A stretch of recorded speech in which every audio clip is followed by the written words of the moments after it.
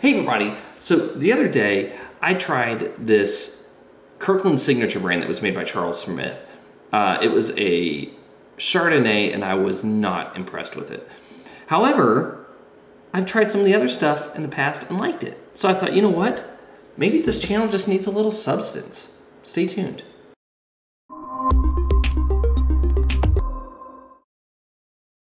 Hey everybody, so if you like today's video, um, go ahead and subscribe to the channel, click that notifications bell, and do all the other stuff that people do when they like content. So today I'm gonna be reviewing the 2018 Substance Cabernet Sauvignon by Charles Smith. It is 14% alcohol by volume and I paid $15 for it at my local store. Uh, it's from Columbia Valley, so uh, the typical Washington Charles Smith type of wine. And um, I don't know what to think of this because I've had some of the other stuff in the past, like the Boom Boom Syrah. Yeah, it was it was pretty decent. Uh, Kung Fu Girl Riesling, I thought it was actually a pretty good value. And then the Kirkland Signature one, wasn't a fan of that. Wasn't a fan of that. However, though, people have told me that this one is good. So let's see how good it is. And because my klutz, I'm gonna put that back. So from a color standpoint, let me get all this stuff. This is a crappy pour right there. Uh, you are a medium ruby, no artifacts, no cloudiness. All right, now on the nose. Holy vanilla Batman. So, okay, okay, that's good. It must have just been all on the top of the bowl because now, now we're kind of integrating. However, though, that alcohol is noticeable. There's a lot of blackberry in this. A lot of blackberry, a lot of plum, black currant. There's a little bit of like a black pepper note, a little bit of like a herbal tea. Yeah, kind of your, your, your typical, almost like American oaky type of notes. So I'm getting a little bit of like uh, vanilla. I'm getting a little bit of uh, clove. There's a touch of cedar. So like the candy mounds, if you peel the chocolate off, Actually, no. Just the candy mounds. That's what it smells like. You get a little bit of that sweetened coconut, and you get a little bit, just a little bit of that milk chocolate. Yeah, with all that being said, how's it taste? So, initial, like, as soon as it hits on the approach, tons of ripe fruit. No noticeable tannins until it hits the mid palate, and then they're like this kind of, what I would say is medium plus tannins, they're chalky tannins just very evenly coating and kind of feel like you need to scrape things. Overall fruit intensity, medium plus. I forgot to do the intensity on the nose because I always forget that. Medium on the nose. It's really bold on the fruit, calm on the secondary, and really just heavy on the tannin.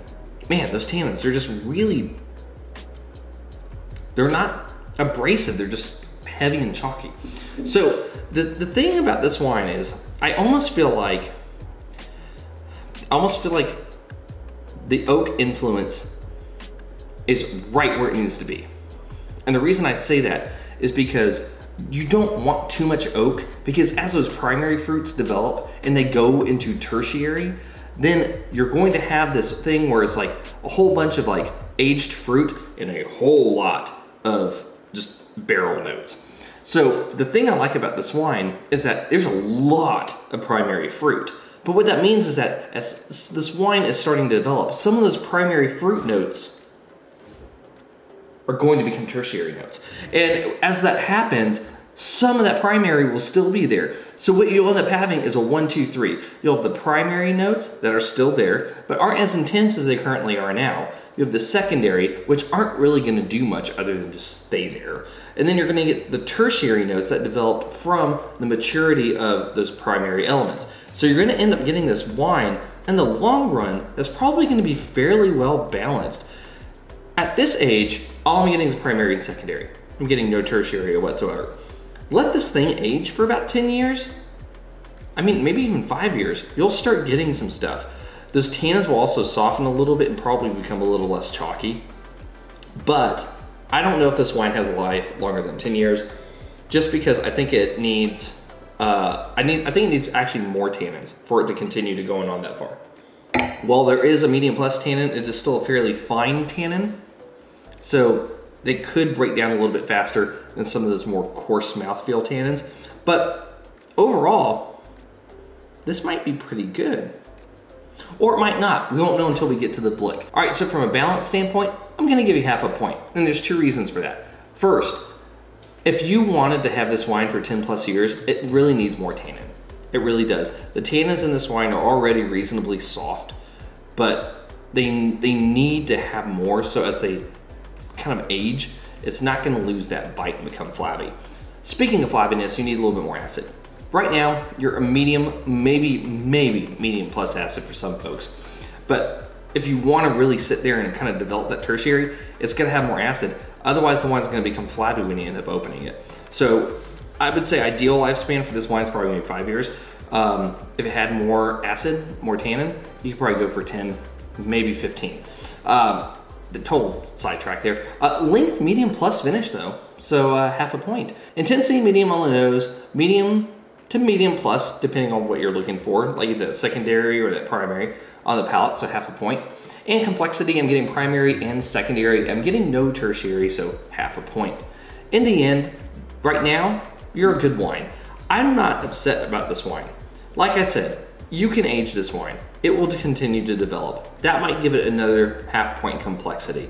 It might give it another half point in length if those tertiary elements are enjoyable and stick around as part of the finish and add to it.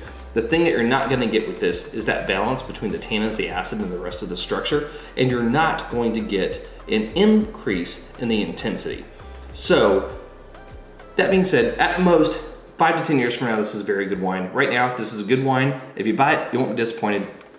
Drink it and have a steak. Anyway, this is Mr. Root with Wine on the Dime. If you liked today's video, please like, subscribe, and comment. Have you had the Substance Cabernet from Charles Smith? I'd be interested to know if you have. Leave a comment below, and I'll see you all again soon with another episode from Wine on the Dime.